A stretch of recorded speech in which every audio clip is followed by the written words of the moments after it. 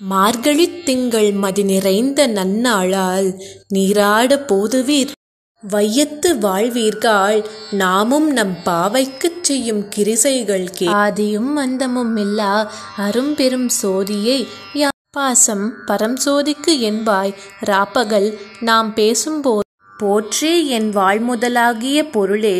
புலர்ந்தது பூங்கழ Arunan Indiran திசையணுகினன்